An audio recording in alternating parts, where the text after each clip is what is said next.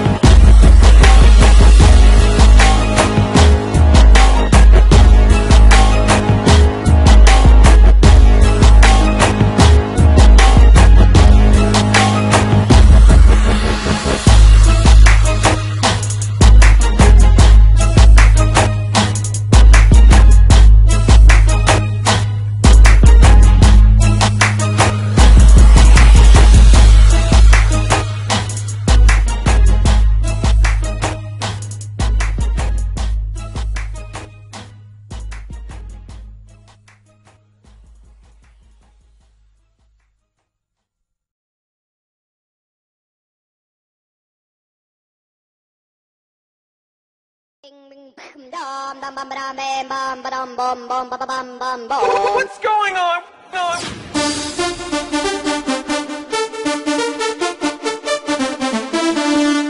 Ding, ding.